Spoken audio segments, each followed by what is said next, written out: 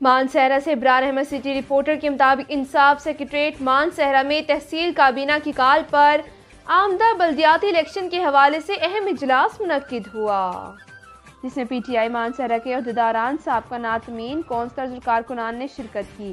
اجلاس میں بلدیات کے حوالے سے مشاورت کی گئی۔ General secretary P T I Mansehra Taimur Saleem Swati کی جانب سے آمدہ بلدیاتی انتخابات کے حوالے سے حکمت عملی بیان کی گئی اور شرکت سے رائے لی گئی۔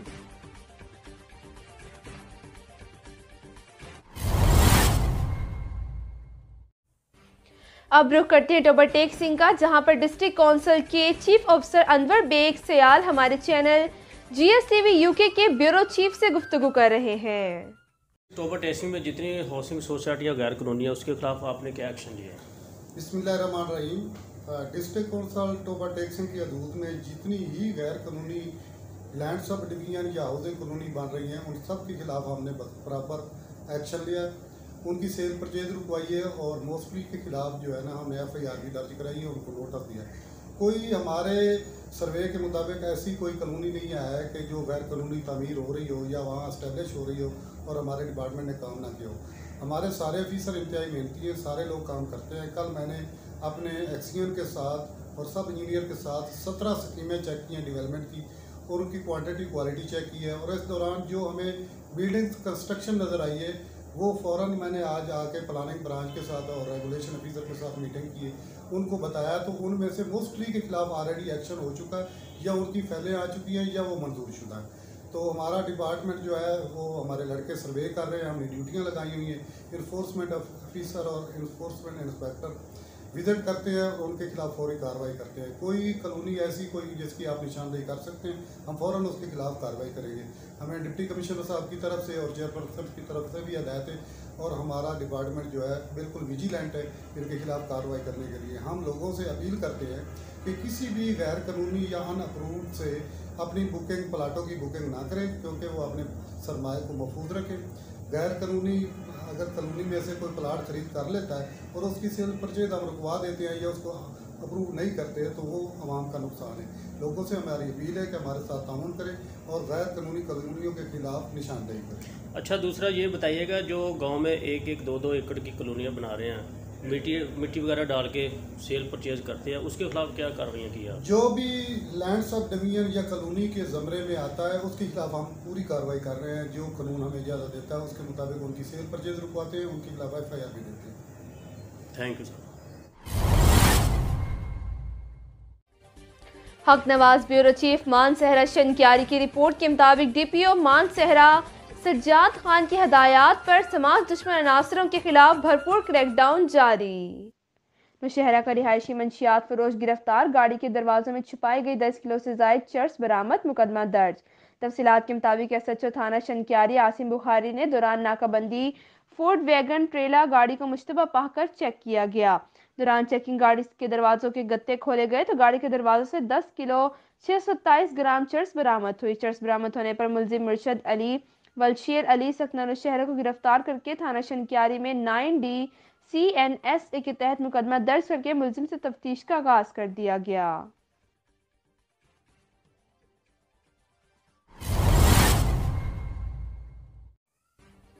S P patrolling Multan region madam Humayun Naseeb کی ہدایت پر سموگ اور روڈ سیفٹی کے حوالے سے مختلف مقامات پر واک کا اہتمام کیا گیا۔ مزید جانتے ہیں، بیورو چیف محمد شاہد سے جی شاہد، کیا تفصیلات ہیں؟ آگاہ کیجیے گا۔ جی، بالکل۔ S P patrolling Multan region, madam Huma Naseeb کی ہدایت پر mobile education team P H P Multan region, Rao Muhammad Shafiq نے ایل پی جی سلنڈر گاڑیوں استعمال انسانی جانوں کے لیے خطرے کا باعث ہے۔ گاڑیوں میں موجود ایل پی جی سلنڈر کی کوالٹی چیک کی جائے اور گھٹیا کوالٹی کے سلنڈر کی حامل گاڑیوں کو بھاری جرمانے کیے جائیں۔ ان خیالات کا اظہار reader S P patrolling Multan region Rao Muhammad Shafiq نے ایل پی جی سلنڈر گاڑیوں میں استعمال کی روک تھام کے لیے چلائی گئی مہم میں مختلف مقامات پر دیے گئے۔ دیے جانے والے لیکچر میں کہا، انہوں نے مزید کہا، S P patrolling Multan region Huma Naseeb کی ہدایت پر ریجن بھر میں یہ موم چلائی جا رہی ہے اور لوگوں کو اگئی موم کے ذریعے اس خطرے سے آگاہ کیا جا رہا ہے اور غفلت کے مرکب افراد کو بھاری جرمانے بھی کیے جا رہے ہیں۔ جی cameraman team camera Muhammad Shahid G S T V, U K, ضلع لودران جی۔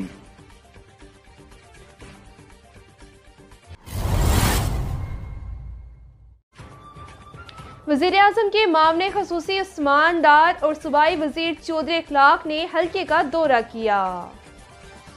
بیورو چیف ساجد گجر کی رپورٹ کے مطابق وزیر اعظم کے معاملے خصوصی عثمان ڈار اور صوبائی وزیر چودھری اخلاق نے حلقے کے دورے کے دوران دیگر فوج شدگان کے اہل خانہ سے ملاقات کی، جس میں تعزیت فاتحہ خوانی بھی کی گئی۔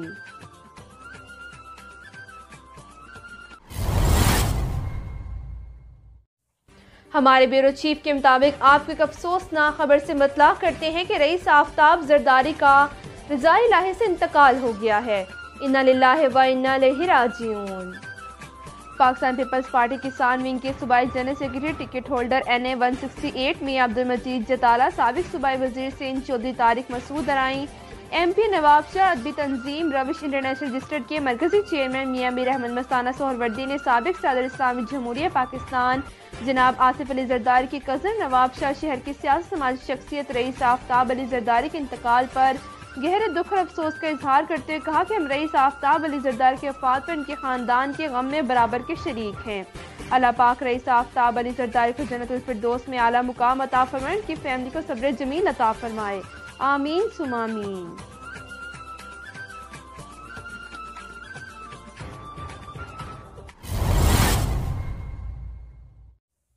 بورے والا ایڈیشنل ڈسٹرکٹ ان سیشن جج فرسٹ محمد یونس عزیز نے مشہور مقدمہ قتل کے ملزم محسن کھنڈ ولد لیاقت علی بھٹی کو جرم ثابت ہونے پر عمر قید اور تین لاکھ جرمانے کی سزا سنائی۔ نزاکت علی چوہان کی رپورٹ کے مطابق Burewala additional district and session جج فرسٹ محمد یونس عزیز صاحب نے تھانہ سٹی بورے والا کے مشہور مقدمہ قتل کے ملزم محسن کھنڈ ولد لیاقت علی بھٹی کو جرم ثابت ہونے پر عمر قید اور تین لاکھ جرمانے کی سزا سنائی۔ دیگر ہمرائی ملزمان شفیق عرف بونی، ولد رفیق بھٹی جو ضمانت پر تھا۔ دوران سماعت ہی قتل ہو گیا تھا جبکہ تیسرا ملزم علی رضا ولد ڈاکٹر وسکی تاحال مفرور ہے۔ فاضل جج صاحب نے نوما کیس کی مسلسل سماعت کی گواہان کی شہادت اور دونوں فریقین کے وکلا کے دلائل کو مد نظر رکھتے ہوئے ملزم محسن کھنڈ و لیاقت علی بھٹی کو جرم ثابت ہونے پر عمر قید اور تین لاکھ کی سزا سنائی، جبکہ ملزم علی رضا کو اشتہاری قرار دیا گیا ہے۔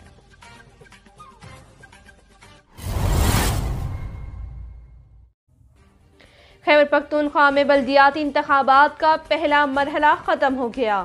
مزید ہم جانتے ہیں ہمارے بیورو چیف اظہر قریشی سے۔ جی اظہر سرگاہ کیجیے، کیا تفصیلات ہیں؟ جی بالکل۔ خیبر پختونخوا میں بلدیاتی انتخابات کا پہلا مرحلہ ختم ہو گیا۔ سترہ اضلاع میں ہونے والے بلدیاتی انتخابات میں حکمران جماعت پی ٹی آئی مشکلات کا سامنا رہی۔ جے یو ایف اے سب سے زیادہ تحصیل کونسل کی نشید جیت کا سب سے بڑی جماعت بن کر سامنے آئی۔ جے یو ایف اے نے پشاور کی میئر کی نشید سمیت سترہ اضلاع میں اکیس تحصیل کونسل کی نشستوں پر کامیابی حاصل کر لی، جبکہ پی ٹی آئی پندرہ اے این پی چھ اور مسلم لیگ تین تحصیل کونسل کی نشید جتنے میں کامیاب ہوئی۔ سن دو ہزار تیرہ کے انتخابات کے بعد ایسا پہلی بار ہوا ہے کہ پی ٹی آئی کو خیبر پختونخوا میں بڑی شکست کا سامنا کرنا پڑا۔ صوبے کے تمام بڑے شہروں میں کامیابی کے لیے حکمران جماعت نے ایڑی چوٹی کا زور لگایا۔ ہوا کہ صوبائی وزراء اپنی پارٹی کے امیدواروں کے انتخابی مہم کا حصہ رہے۔ تحریک انصاف نے بلدیاتی انتخابات متاثر کن نتائج حاصل کرنے کی کوشش کی، لیکن بلدیاتی انتخابات میں عوام نے کپتان کے کھلاڑیوں کی بجائے عوام مولانا کے کارکنوں پر اعتبار کیا وفاقی وزیر شبلی فراز کے مطابق شکست کی اصلی وجہ پی ٹی آئی کا مقابلہ پی ٹی آئی سے تھا اگر ایسا نہ ہوتا تو چودہ اضلاع میں پی ٹی آئی کے امیدوار کامیاب ہو سکتے تھے جی